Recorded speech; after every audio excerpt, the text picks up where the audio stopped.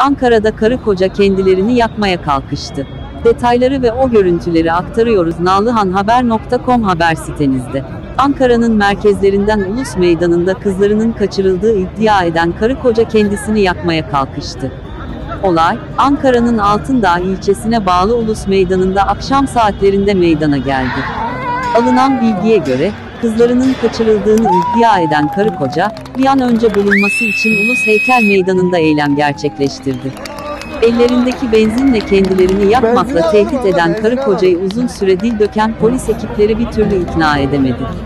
Bir anlık dikkatsizliğinden yararlanan ekipler karı kocayı üzerlerine atlayarak etkisiz hale getirdi.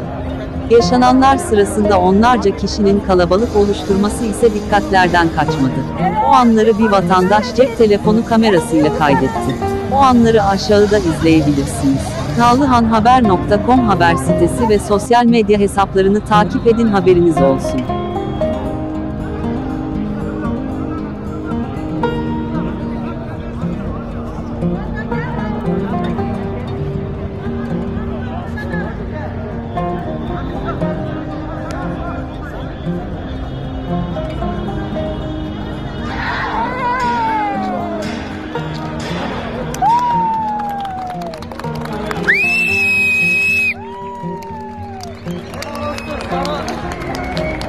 Benzini alalım abla, benzini alalım.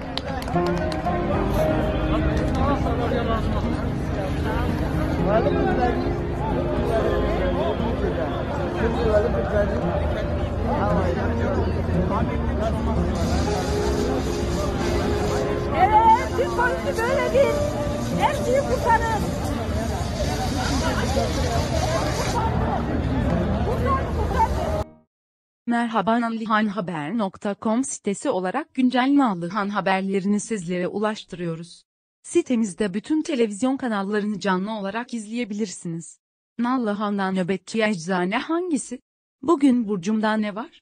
Ulusal gazetelerin ilk sayfası, hava durumu, futbol puan durumu gibi çok sayıda içeriğe ulaşabilirsiniz.